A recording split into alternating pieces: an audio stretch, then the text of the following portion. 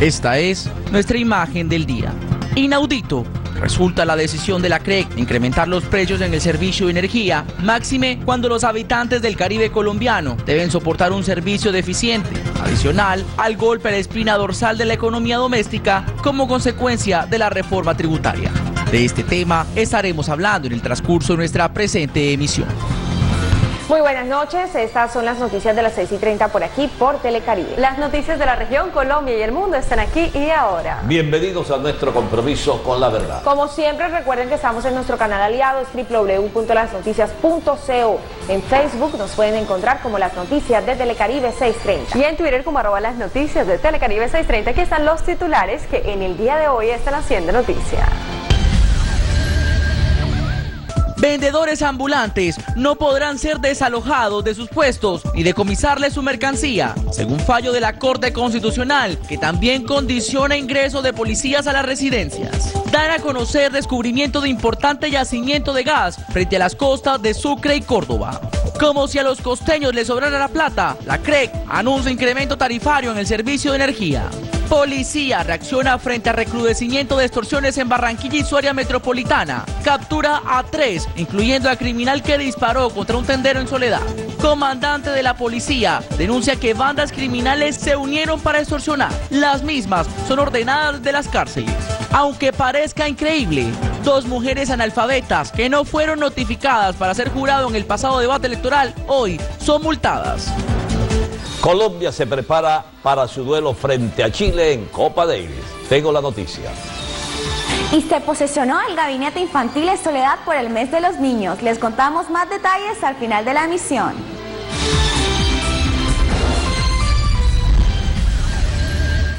Y más adelante, durante el transcurso de la misión, seguimos con el especial por el Día de Barranquilla. Recordemos que mañana 7 de abril son 204 años que conmemoramos en esta bella ciudad y tenemos hoy especiales para nuestra ciudad, para Barranquilla. Muchísima atención, los vendedores ambulantes del país ya no podrán ser desalojados, ya que el artículo 140 del Código de Policía, que prohibía el ejercicio de estos vendedores, fue regulado por la Corte Constitucional. Tampoco los policías podrán ingresar a su vivienda sin orden judicial. Aquí está el informe. Un fallo de la Corte Constitucional ampara a los vendedores ambulantes, aduciendo que mientras las autoridades no tengan un plan de reubicación para quienes se ganan la vida en las calles y en los buses, no pueden desplazarlos del lugar. El fallo de la Corte se da luego del sinnúmero de tutelas y demandas impetradas en contra del Código de Policía, entre ellos el artículo 140 que daba vía libre a los uniformados de la policía y autoridades municipales para desalojar a los vendedores ambulantes. En total son 15 las demandas que cursan en los tribunales contra 17 artículos del Código de policía. Entre lo fallado por la Corte también está que los policías no pueden ingresar a su vivienda sin orden judicial, ya que el alto tribunal considera que se vulneran los derechos de los ciudadanos. Pilar Bustamante, las noticias, un compromiso con la verdad. Y Colombia halló el campo de gas más grande en su historia. Para el presidente de Naturgas, este es el resultado de proyectos de exploración que le permiten al país ampliar sus fuentes de energía.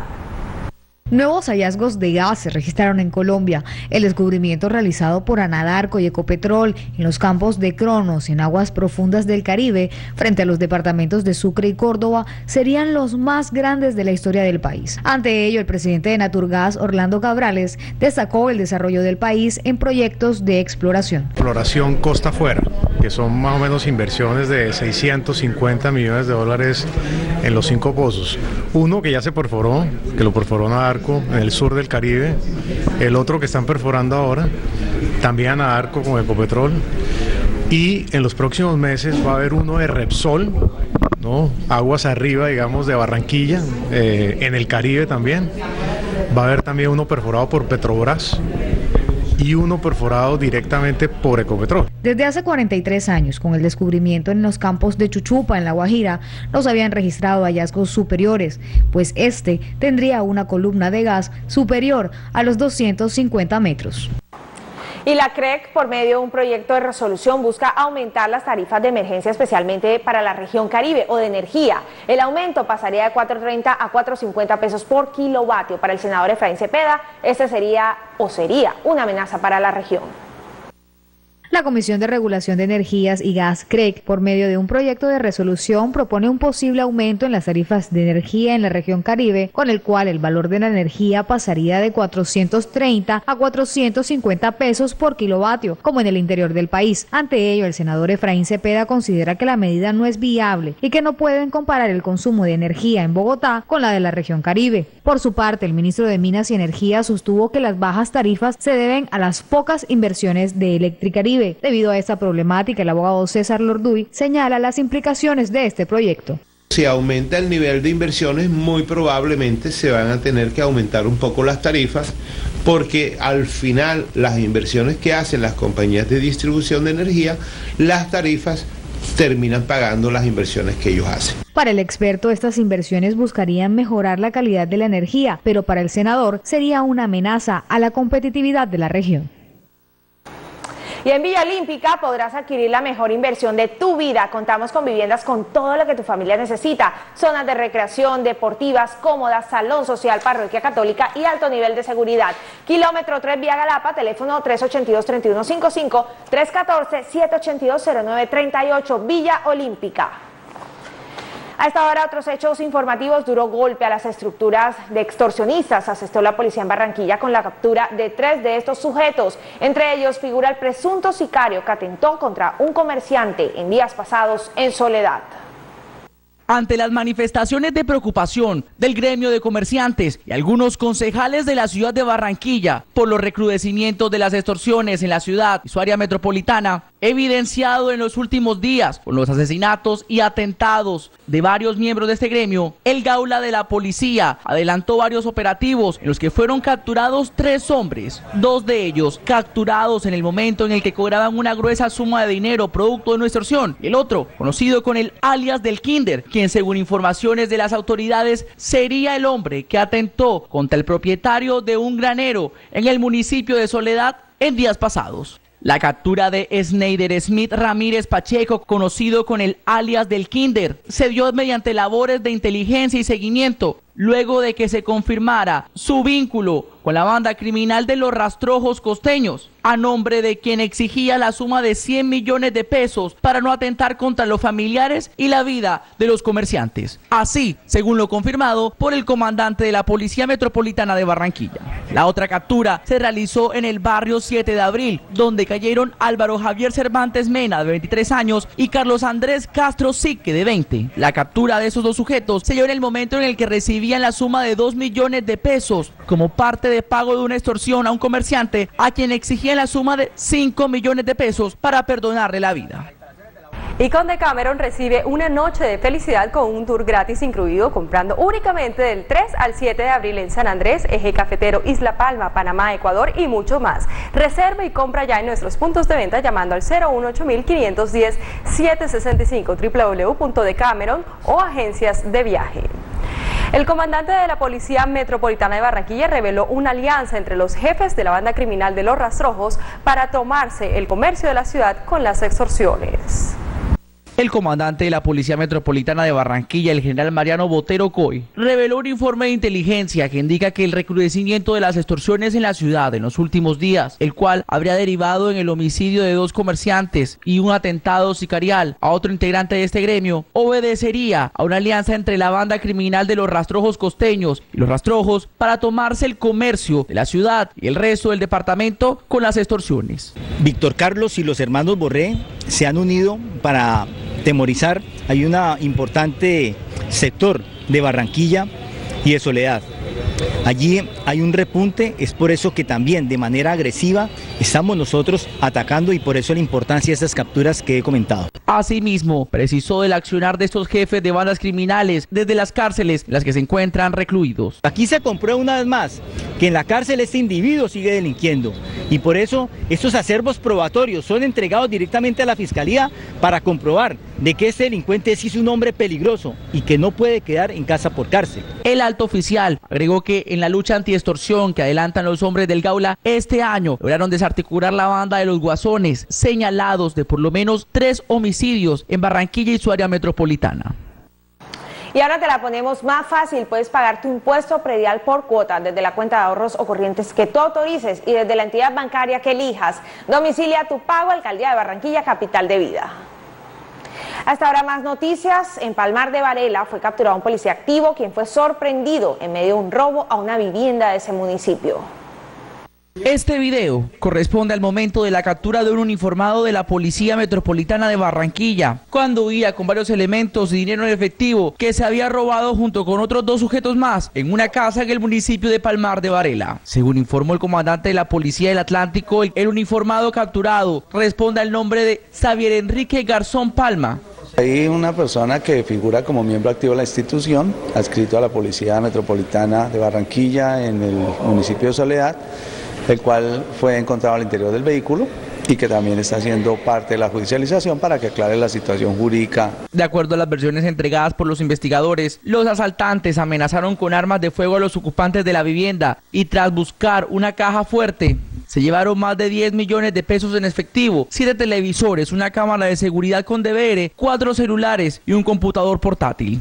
Los delincuentes fueron capturados en medio de una persecución por patrullas del cuadrante, quienes interceptaron el taxi tipo zapatico en el que huían. Los capturados fueron puestos a disposición de la fiscalía y serán procesados por el delito de hurto agravado y porte y tráfico de armas.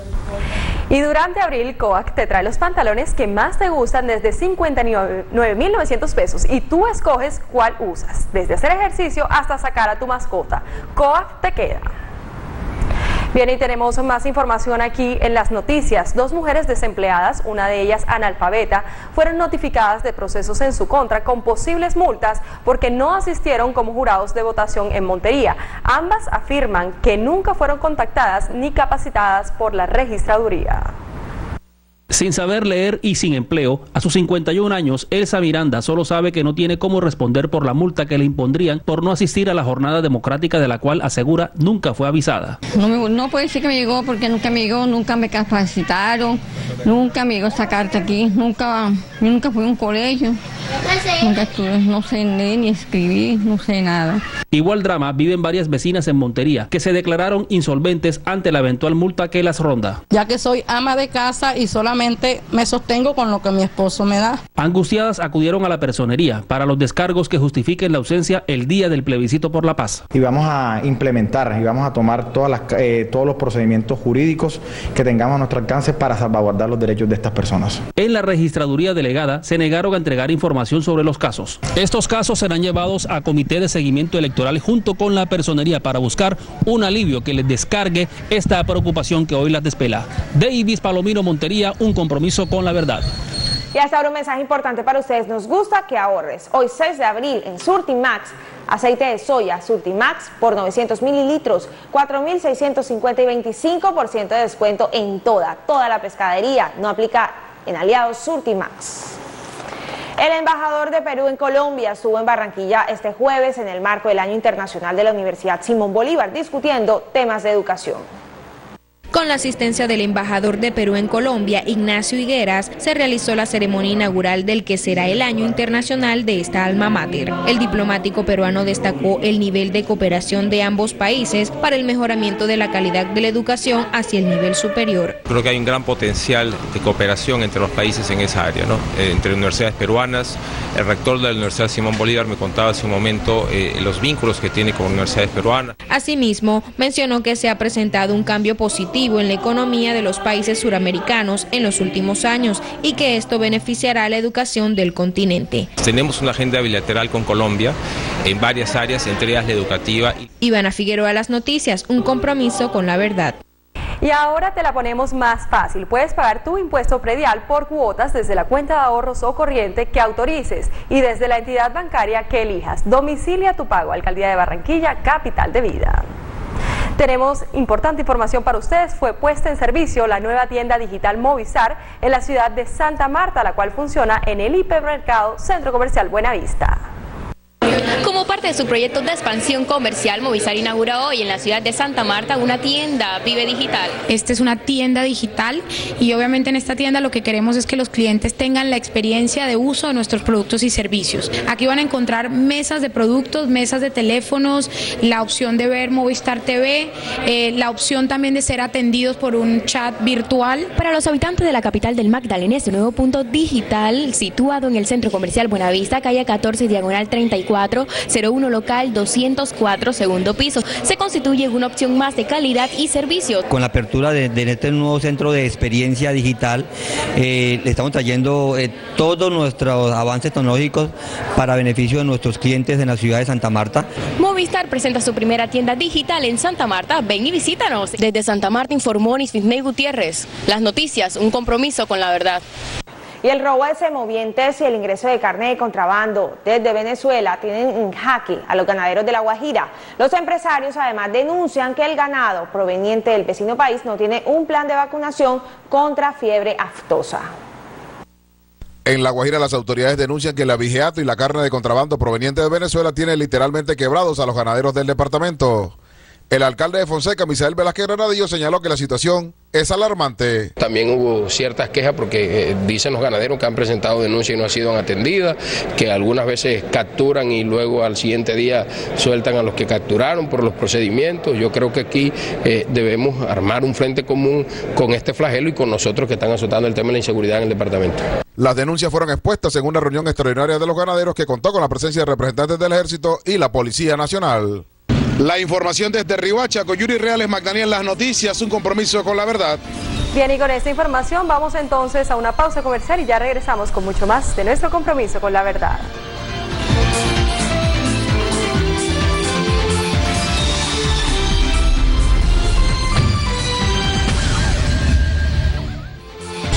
Estás viendo las noticias.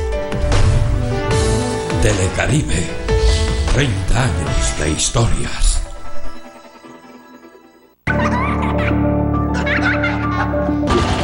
Papi, papi no quiero que sea la última vez que juguemos juntos. Los que te aman quieren que la última decisión que tomes antes de subirte a la moto sea la mejor, no la última, que no sea la última vez. El casco úsalo siempre. Salvemos vidas en la vía. Las mujeres se respetan y se tratan con amor. Los únicos golpes sean para el tambor. No le sigas el ritmo a la violencia. Si ves o recibes maltrato, denúncialo llamando al 155. Toma control, cuida tu vida, toma control. Un mensaje de la Secretaría de la Mujer, Gobernación del Atlántico. Atlántico, líder.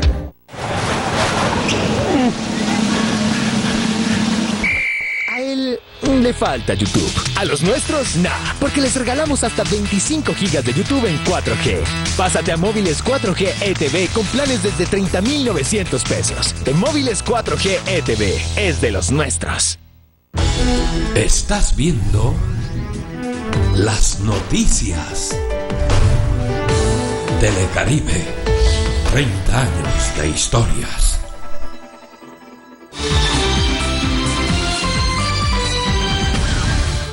Supergiros hace más fácil tu vida. Ahora en los puntos Supergiros puedes pagar tu factura de Electricaribe y Gases del Caribe. Acércate a la red de servicios Supergiros y paga tu factura de Electricaribe y Gases del Caribe. Supergiros hace más fácil tu vida. Los mejores productos de Fuller ya los puedes vender por el celular, descargando la aplicación Fuller App y enviando tu hoja de vida a emprendimiento arroba agenciafuller.com. Tendrás información que necesitas. Somos Agencia Fuller. Un sueño hecho realidad. Moderna sede clínica regional de especialistas Sinais Vitaes. El más completo complejo médico asistencial en un solo lugar. Tecnología, medicina con lo actual. Recurso humano, médico científico con calidad. Doctor Anuar Cruz Fuentes, director general Bosconia Cesar. Confía el cuidado de tu sonrisa a expertos. 40% de descuento en diseños de sonrisa, ortodoncias, blanqueamientos y más. Clínica Odontológica Integral. Dentiden. Su sonrisa es nuestro compromiso.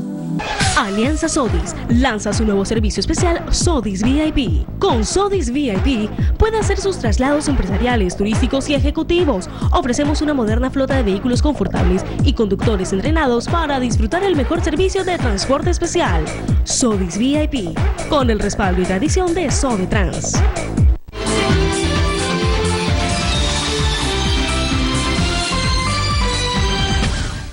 Muy buenas noches, bienvenidos a la información deportiva. Mañana en Medellín la selección Colombia de tenis se estará enfrentando a su similar de Chile por la segunda ronda de la Copa Davis. El equipo cafetero no contará en esta oportunidad con Alejandro González, el hombre está lesionado. Desde este viernes en Medellín, la selección Colombia de tenis se jugará ante Chile la segunda ronda de la zona americana de la Copa Davis, el torneo entre naciones más tradicional del tenis mundial. El duelo se realizará hasta el domingo y el ganador avanzará al repechaje del Grupo Mundial, al igual que el ganador de la serie entre Brasil y Ecuador. En la primera ronda, Colombia se vio favorecido y avanzó sin jugar, mientras que Chile superó a República Dominicana con un contundente 5-0. El equipo cafetero está capitaneado por Pablo González lo componen Santiago Giraldo, Eduardo Estrubay, Juan Sebastián Cabal y Roberto Fara. Mientras que los chilenos estarán bajo las órdenes de Nicolás Mazú y tendrán a Nicolás Yarri, Cristian Garín, Marcelo Tomás Barrios y Hans Podlinik. El ciclista colombiano Darwin Atapuma sufrió una fractura en su muñeca izquierda, sumando así otro traumatismo cráneoencefálico. El hombre está bastante delicadito y estaba compitiendo en la vuelta al País Vasco. El corredor nacional está siendo en este momento sometido a observación. Más noticias deportivas a continuación. Colombia escaló dos puestos en el ranking FIFA en el mes de marzo. La tricolor ahora es quinta con 1.348 puntos. A la casilla 1 subió Brasil después de siete años. La canariña despojó a Argentina como la mejor del mundo una semana después de convertirse en la primera selección clasificada a Rusia 2018. El serbio Novak Djokovic, número 2 mundial, en su vuelta a la Copa Davis, abrirá este viernes el duelo ante una España huérfana de Rafa Nadal. Nole enfrentará a Albert Ramos en el primer duelo de la serie de cuartos de final. Desde hoy y hasta el 9 de abril, 12 deportistas, dos entrenadores y un juez del Atlántico participan en el Campeonato Nacional de Lucha categoría junior que se desarrolla en Neiva y buscarán consolidar sus condiciones que los han llevado a entregarle satisfacciones al departamento.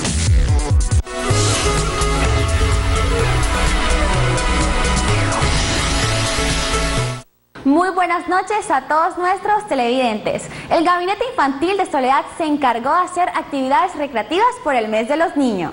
Soledad apuesta por el Gabinete Infantil para la educación de los niños que tienen un espacio recreativo en donde pueden dar sus opiniones y aprender para poder ayudar a la sociedad. Que invertirle a la educación, meterle a la educación, el pilar fundamental de la transformación de toda sociedad es la educación. No se transforma ninguna sociedad si no se le apuesta a la educación. Es hora de jugar en el municipio de Soledad. Este es el lema con el que inicia el mes de los niños. Los invitamos a todos a participar y qué bello es descubrir la fortaleza de los niños, de las niñas, hoy en la instalación de este gabinete. Para que estén fundamentados en el pilar de la educación, en los valores de la familia y cómo deben contribuir en la transformación de una mejora para el municipio. Lamentablemente falleció Miguel Reyes, el verdadero Bayardo San Román de Crónica de una muerte anunciada. A los 95 años falleció Miguel Reyes Palencia, el Bayardo San Román de la obra Crónica de una muerte anunciada, del escritor colombiano Gabriel García Márquez.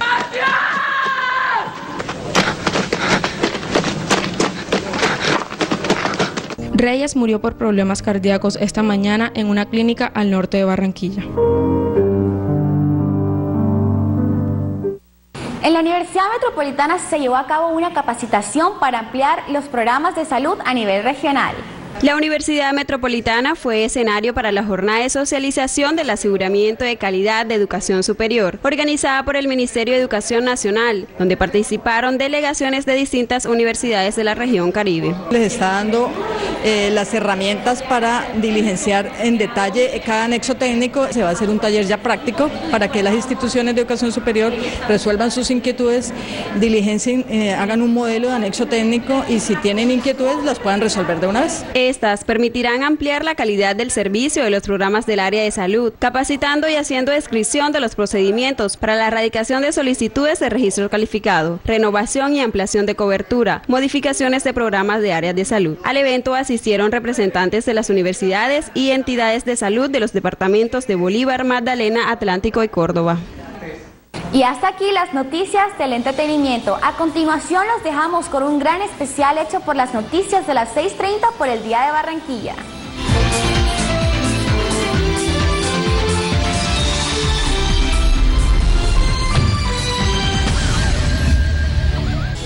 Estás viendo las noticias. Telecaribe, 30 años de historias.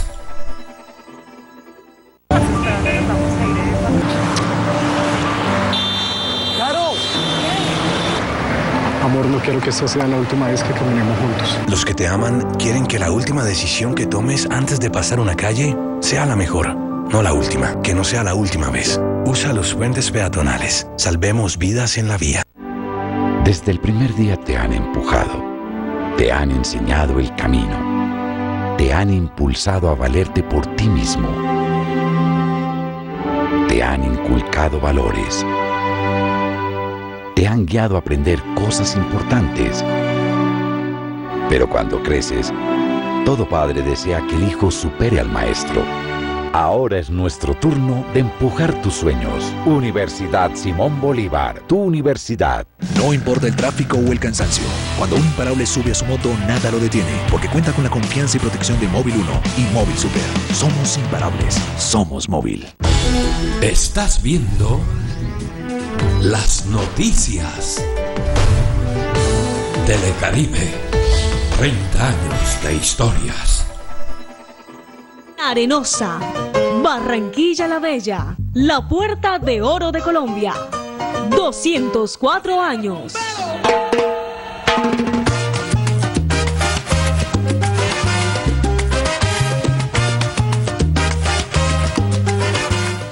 Historia desarrollo, cultura y tradición.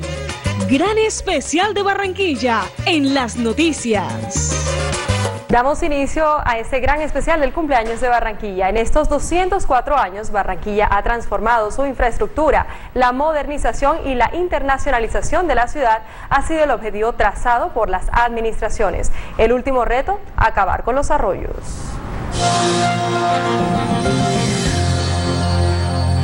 En los últimos años, Barranquilla, la puerta de oro de Colombia, ha mostrado una nueva cara al desarrollo con grandes obras de infraestructura que impulsan su crecimiento.